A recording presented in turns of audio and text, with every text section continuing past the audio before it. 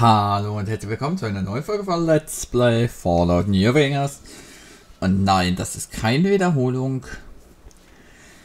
Es ist immer noch so. Ich weiß nicht, warum das schon wieder so ist. Das ist unglaublich. Habe ich die normalen Granaten ausgewählt? Ja, habe ich.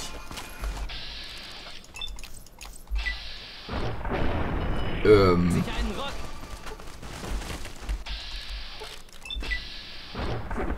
Ich hoffe, das hat sich gelohnt. Äh, was ist das für ein Hammer? Den er da hat. Ist eigentlich alles verkrüppelt oder nur die Arme? Ich nehme mal so ein Jet ein. Hm. Warum habe ich die eigentlich immer dabei? Die ist gar nicht so gut.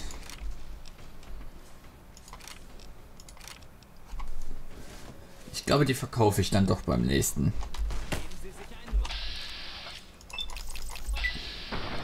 Na toll. Autsch.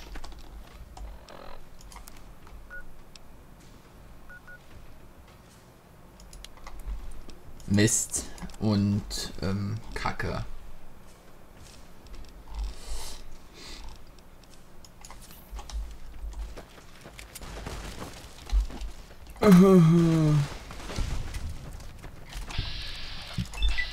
Einmal bitte. Ah, du kannst doch. Was ist denn das? Was ist denn das mit dem Typen mit dem Helm? Wow. Ich muss ja zugestehen. Ich werde sterben. Erste Mal im Let's Play. Nein. Ha. Ähm. Caesar hat ihren Tod befohlen und... Ja. Ich weiß. Nein, nicht du. Du. Sollst es abbekommen.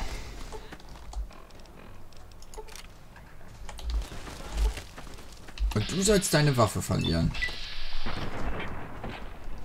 Ah, es hat gar nichts gemacht. Nein, warte, äh... Vielleicht eher das Bein? Oh oh.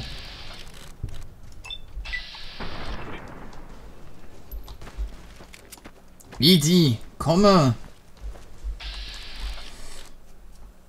Dass ich ihm die ganze Zeit auf die Beine schießen muss, ne? Eh, wird kaputt gehen, wenn es so weitergeht. Was ist denn diese Handelskarawane hin?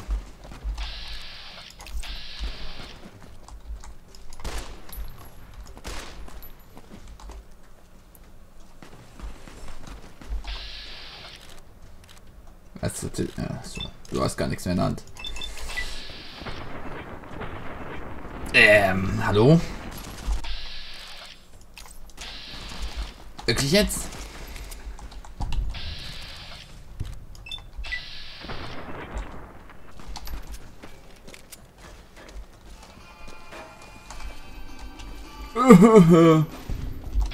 Kopf verkrüppelt.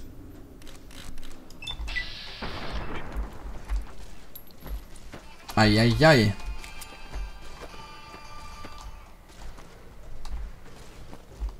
Nein. Ich will den letzten. Na toll. Ich will den letzten. Bang. Bang. Verrufen. Angesichts ihres wahrlich monströsen Verhaltens sind sie in der Gesellschaft in Verruf geraten. Ja, cool. Die damit mit langer Lunte. Super.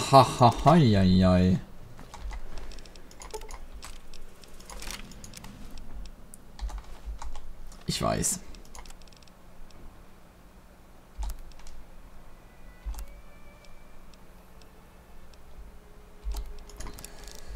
Ähm. Es ist so toll, dass sie sich kombinieren lassen, alle.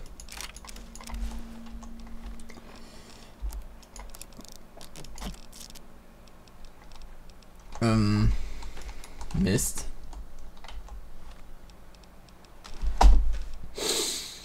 Wirklich?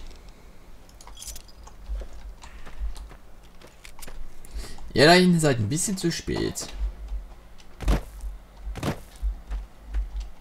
Bin ich jetzt eigentlich noch verkrüppelt im Kopf? Ja. Immer noch. Äh, waren das alle? Ich denke mal fast schon. Gucken, ob die... Ja, die haben noch kein neues Geld. Aber was die vielleicht haben, ist äh, Waren. Hallo. Immer noch. Ach ja, der hat ja 1000. Stimmt, da war ja was. Hier, der Superhammer. Weil mit sowas kämpfe ich in der Regel nicht. Frische Bieren. Und, äh, und äh, die Hülsen und äh, ja. Robuste Karawan. Flint. Jetzt kann ich immer noch nicht verkaufen. Das ist doch nicht mehr normal.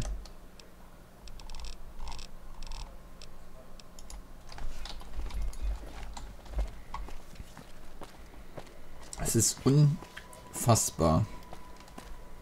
Haben wir sonst noch irgendwas Wertvolles dabei? Wenn ich schon gerade vorbeilaufen, so ein Helm benutze ich nicht. Stein aus Verlaubst. Ach, geht auch nicht. Ja, doch, warte mal, ich mache noch den Helm. Endlich hier schon langlaufen. Ne. Wäre das weggeschmissenes Geld. Oh. Naja, egal. Ja. So. Wie viel Geld haben wir jetzt schon? 6300. Also es ist in Fallout ist einfach nicht schwer Geld zu bekommen, besonders in Fallout New Vegas. Besonders weil es noch einen Trick gibt, aber das wäre für mich fast schon cheaten. Und das im Let's Play machen ist schon extrem lang. Das ist ja so schon relativ langweilig. Manchmal ist es einfach nur lustig, irgendwie so bestimmte Sachen, wenn man mit einem Cheat nutzt, zu machen, aber Let's Play ist, ja, ich...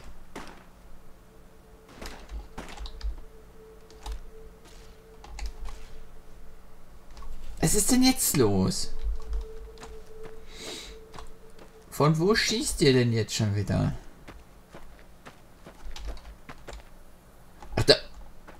Wollt ihr mich verarschen? Noch mehr Legion? Was ist denn das? Ist das hier ein Krieg oder was? Oh. Oh, oh, oh. Ich dachte schon was Schlimmes.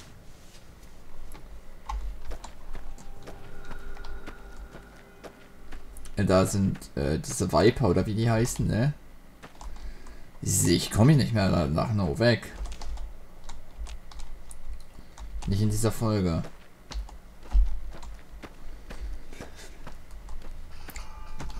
Da sind Viper oder Banditen oder so. Wow!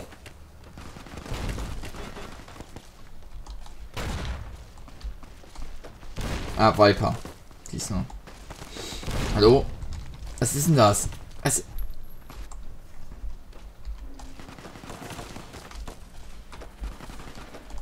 Unglaublich. Ich versuch's mal so. Vielleicht ist das ein bisschen erfolgsversprechender. Ah. Ne, treffe ich nicht.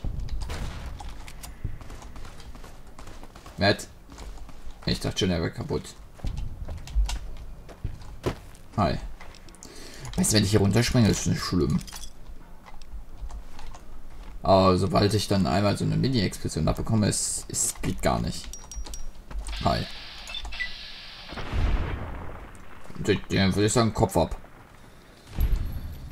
Oh, die hat mit einem Granatwerfer uns geworfen. Das ist natürlich verständlicher dann. Äh. Matt. Metallrüst. Oder was habe ich denn für eine Rüstung? Eine leichte Metallrüstung. Kann ich die damit reparieren? Ja, perfekt.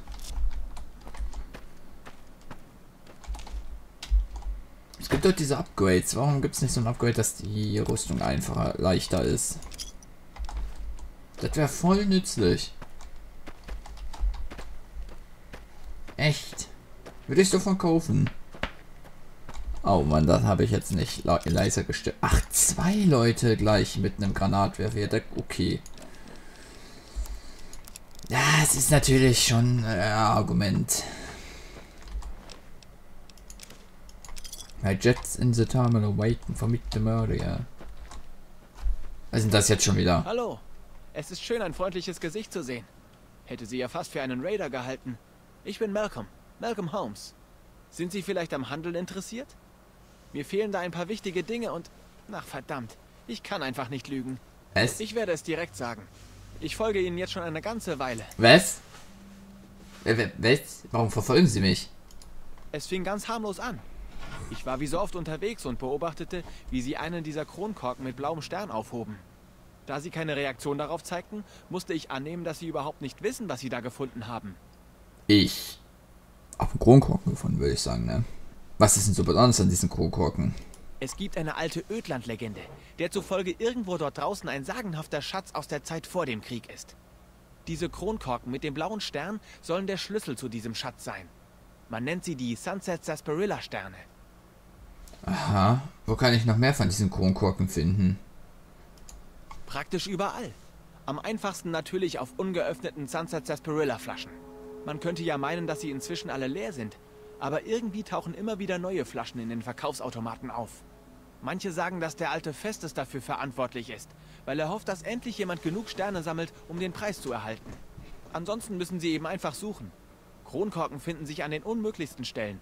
Das gilt auch für die mit blauen Sternen. Aha. Sie haben jemanden namens Festus erwähnt. Wer ist das? Man sagt, dass der Schatz von einem Mann namens Festes bewacht werde. Er ist es auch, der nach den Sternkronkorken fragt.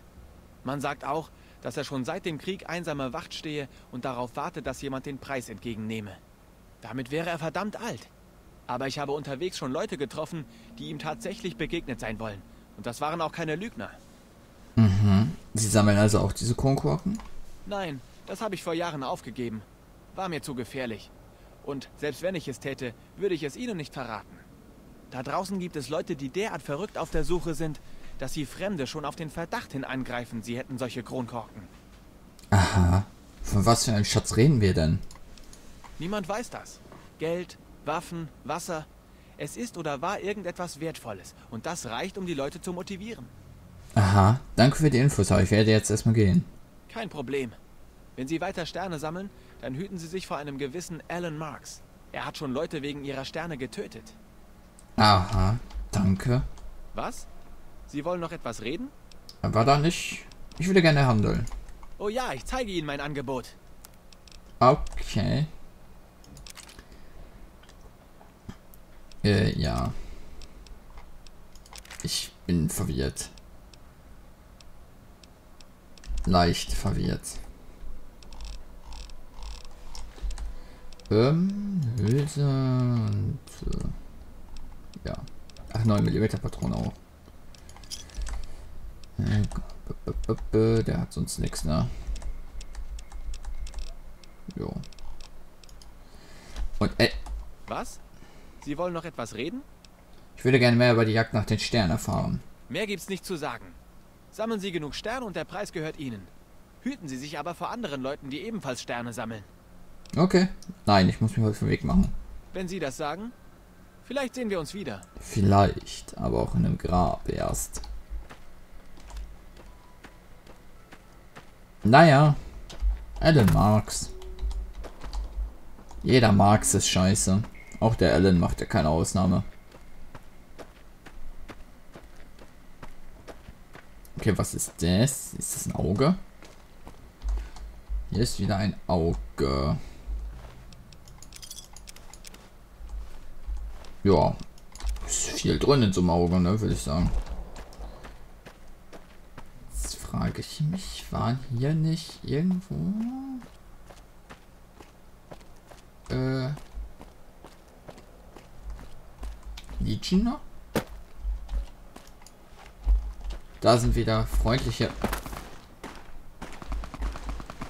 Es ist doch nicht normal. Überall sind die. Oh oh.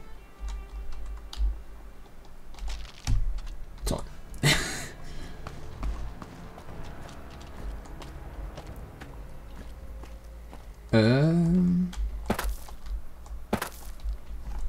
Das macht kein Problem. Ist nicht schlimm. Ja, IDI. Nimm doch mal den normalen Weg, bitte. Wie ganz alle, wie jeder Roboter.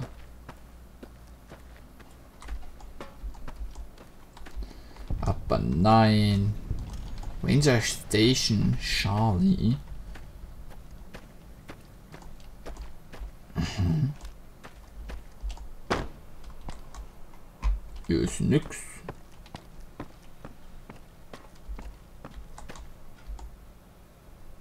Wenn die so weiterlaufen, dann treffen die wieder aufeinander.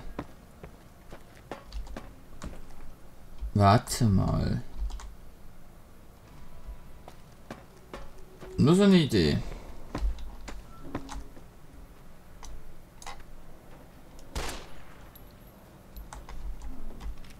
Ähm, So eine Patrouille Hallo? durch die Mojave lässt einen fast auf einen nuklearen Winter hoffen.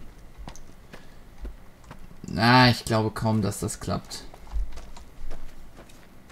Mal anzulocken. Vielleicht stirbt dann eine der Karawanen und... Aber nee, der ist nicht den Aufwand wert, dass ich dann das Geld nehme und äh, wir haben ja schon genügend Geld.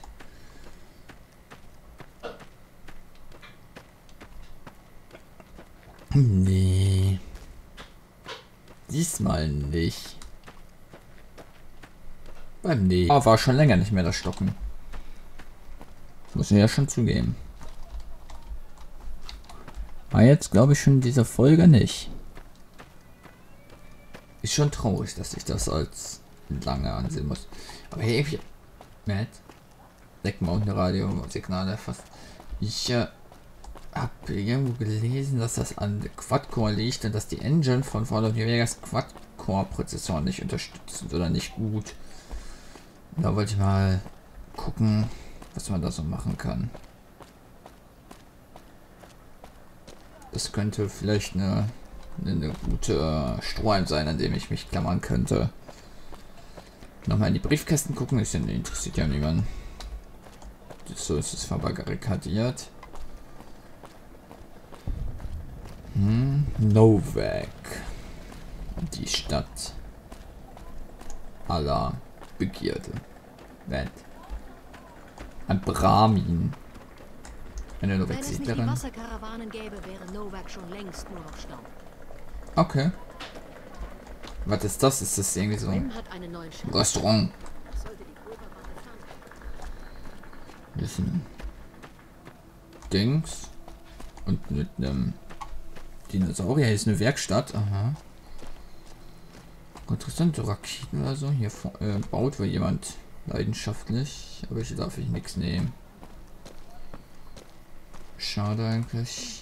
Wobei hier sind eh keine so wertvollen Sachen. Ähm, hi. Was bist du? Victor. Laszlo. Na, da brat mir einer einen Storch. Wenn das nicht meine gute Bekanntschaft aus Good Springs ist. Matt. Schön hier draußen ein freundliches Gesicht zu sehen. Geht mir genauso. Kann der alte Vic was für Sie tun? Du kannst mir sagen, wer du bist? Ich könnte ein Bett und ein paar Vorräte gebrauchen. Naja, das hier ist nicht New Vegas. Aber ich denke, Sie werden finden, was Sie suchen. Probieren Sie es vorne im Büro. Okay. Was machst du denn in Novak? Wenn ich das wüsste. Irgendwie hat es mich nach New Vegas gezogen. Denke mal, ich werde es rausfinden, wenn ich da bin. Aha. Was ist das für ein Ort hier? Novak, netter Ort, würde ich sagen. Aber mal unter uns. Als ich hier ankam, hatte ich ein ungutes Gefühl. Passen Sie auf sich auf. Ja, ja, ja, keine Sorge, keine Sorge. Äh, war da nicht noch ein zweiter? Was für ein Zufall, dass wir uns hier so treffen. Da das die einzige Straße in der Gegend ist, wäre ich was erstaunt, wenn wir uns nicht ab und an mal begegnen würden. Naja, okay, das. Ja, okay. Du hast gesagt, dass die Leute, die mich angegriffen haben, in diese Richtung gingen, ja? Äh, War, war das so? Nein, habe ich nicht, so viel ich weiß. Aber Sie könnten sich umhören. Die Leute von Novak sehen normalerweise jeden, der hier langkommt. Okay. Äh, war dann eine. Das ist ein zu großer. Ro- Äh, das ist ein zu großer Zufallroboter. Was ziehst du da ab? Mal nicht paranoid werden, Partner. Diese Kugel in ihrer Hirnschale hat ihre Brahmin wohl ein wenig verschreckt. Wir sind hier alle Freunde. Ja. Wir sind alles Freunde. Bis Wir bald. sehen uns. Ich will ja nicht unfreundlich sein, ne? Und so. Ist ja quasi. So bin ich ja nicht. Was haben wir? Äh, was muss ich jetzt eigentlich tun? Äh, achso. Dino, was? Dino Leitempfangsschalter war das, glaube ich. Hallo, Jenny May Crawford. Nun herzlich willkommen. Sie sehen müde von der Reise aus. Warum erholen Sie sich nicht etwas und lassen diese feine Stadt sich um Sie kümmern? Gerne. Wer kann das noch nicht? Wie konnte ich nur? Da versuche ich einen guten Eindruck zu machen und vergesse ganz mich vorzustellen. Ja. Ich bin Jeannie May. Ich kümmere mich um die Leute im Motel, solange sie keinen Ärger machen. Okay. Was ist das für ein Ort? Wir sind eine kleine Wüstenoase namens Novek. Dies hier ist das Dino D Light Motel und es gehört mir. Aha. Welche interessanten Plätze gibt es hier? Da wäre mal Dinky, das Stadtmaskottchen. Ein toller Anblick, den Sie wohl schon bei der Anreise gesehen haben. Innen können Sie auch raufklettern. Oh. Die Straße rauf im Westen liegt Repcon. Das ist diese alte Raketenfabrik. In letzter Zeit haben sich dort düstere Gestalten angesiedelt. Vielleicht sollten Sie da besser fernbleiben. Ansonsten ist nicht viel los. Also nehmen Sie es leicht und genießen Sie die Gesellschaft. Okay. Webcon ist Pepcon übrigens in Wirklichkeit, ne? Dass ihr es wisst. Sonst noch was? Ein Stück im Norden sehen Sie einen großen Turm. Das ist Helios One. War früher mal ein Kraftwerk. Östlich von hier gibt es eine Stadt namens Nelson.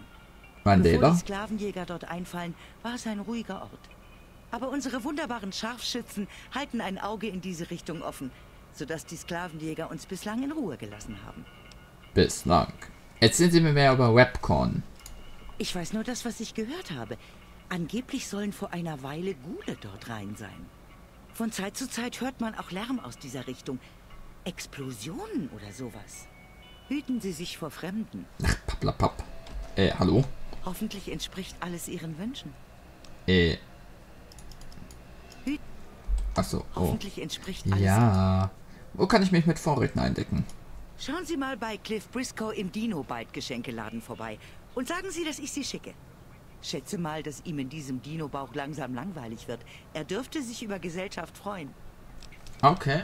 Ich suche einen Mann in einem karierten Mantel. Haben Sie hier so jemanden gesehen? Naja, er mag zwar fein angezogen gewesen sein, aber wie ein echter Gentleman wirkte er nicht auf mich. Hatte seine Nase so hoch oben, dass man sie in den Wolken gar nicht mehr sehen konnte. Diese Städter glauben immer, sie hätten was Besseres verdient. Die Schläger in seiner Begleitung schienen Manny irgendwie zu kennen. Er ist tagsüber unser Scharfschütze, oben im Dinosauriermaul. Manny?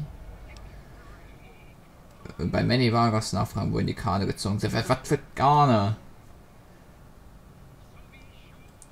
Oliver Kane oder was? Was tut sich so in der Stadt so in der letzten Zeit? Mal sehen.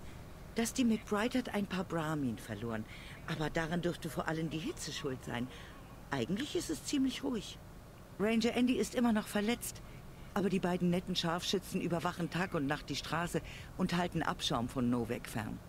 Sie sind ein echter Segen. Das heißt, auch hier scheint die RNK zu sein. Das beruhigt mich. Ich will mich an einem Mann namens Benny rächen und brauche jemanden, der mich in Schuss hält.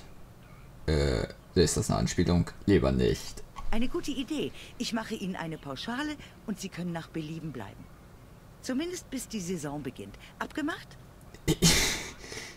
Ja, Saison in Fallout, okay, ich gebe dafür mal 100 Kronkorken aus. Schön, dass Sie bei uns bleiben. Ja. Ihr Zimmer ist oben in Richtung der Lobby. Hier ist Ihr Schlüssel. Lassen Sie es mich wissen, wenn ich Ihren Aufenthalt angenehmer gestalten kann. Ja. Jetzt wollte ich einmal. Hoffentlich entspricht alles Ihren... Ich meine, es wäre ein lustiger Dialog. Wie komme ich möglichst schnell aus dieser, raus aus dieser Müllhalde? Von mir aus können Sie einfach aus dem Fenster springen, mein Herr. Sie haben kein Recht, hier reinzukommen und unsere Stadt zu kritisieren. Die Leute arbeiten hart, um sie sauber und sicher zu halten. Wir tun, was wir können. Aber es gibt wohl immer so pingelige Typen wie Sie, denen man es einfach nicht recht machen kann. Tut mir leid, das habe ich nicht so gemeint. Die Stadt scheint ganz nett zu sein. So ist es. Aber das weiß nicht jeder zu schätzen. Ja.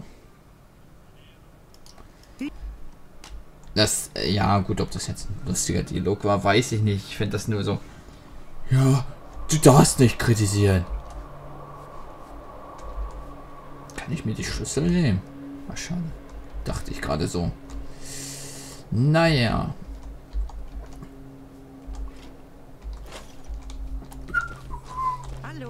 Hallo. Ich nehme mir noch ein paar Sachen, ne? Hier Kaffee für jeden. Wett. Oh. Die haben einen neuen Briefkasten entdeckt. Ja. Und ich mache gleich einen neuen Part. Bis dahin. Tschüss.